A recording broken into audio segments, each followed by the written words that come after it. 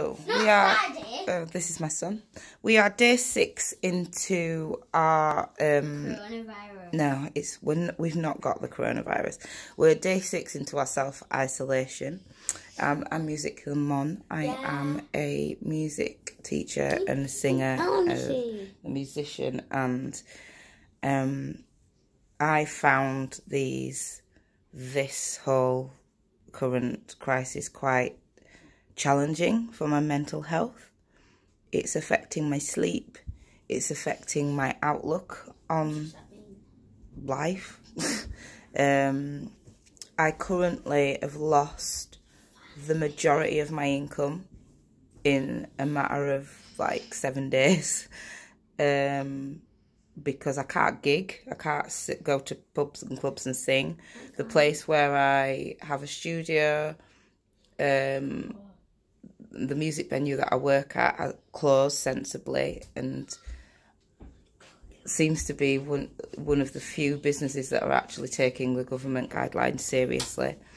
Um, I have been in the house for six days with my two children, one of which you've just seen. My daughter's there, you can see on the tablet, and my husband is working from home and has just gone upstairs. So I've decided that I'm going to make the best of this situation. Um, I'm involved in political discussion online with some of my Facebook friends, mostly my boss, who has been putting quite a lot of funny, valid um, face points about the crisis on Facebook.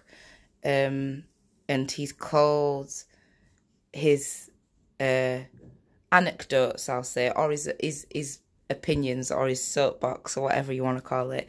Um, is it COVID nineteen moron watch? Because there's so many people not taking this crisis seriously. Um, I think the point that I want to make about this is that not to lose hope.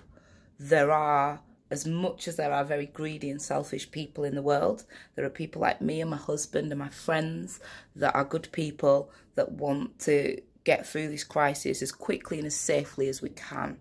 Um, so I'll be posting um, updates, my Corona diaries, um, on my YouTube channel, Musicular Mon. I'll be doing it on my social media as well, which I'm, I'm, I'm a little bit anxious. I've got anxiety and depression.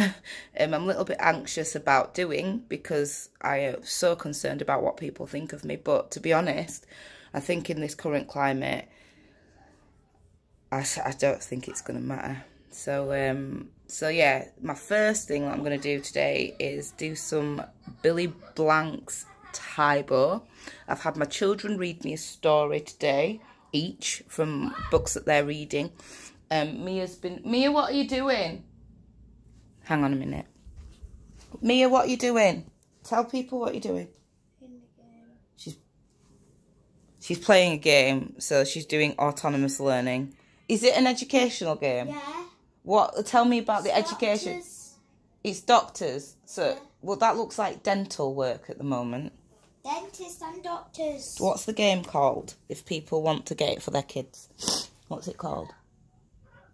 That. Doctor Kids. It's called. It's an app you can get on Google Play Store, I think. I don't know how they've managed to do it. So, um, but yeah. So I'll be posting like updates of the activities that we've been doing. I'm going to do some music later, sing sing to you, um, and then I'll get my kids to do something quite fun as well, um, just so that. You know what? I am a very spiritual person. I believe in God and I, I believe that the Almighty is is there for us. So I'm not I'm gonna try my hardest not to panic and just trust that, you know, that God will help us through this. I mean to be honest, he already is because there's people like me that are trying to be nice to people and trying to treat people with love and kindness and respect, not with contempt and greed and anger, which is quite a lot of people who are who are scared.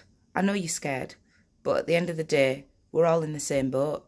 The majority of us are in the same boat, so just be nice. Okay. Over and out.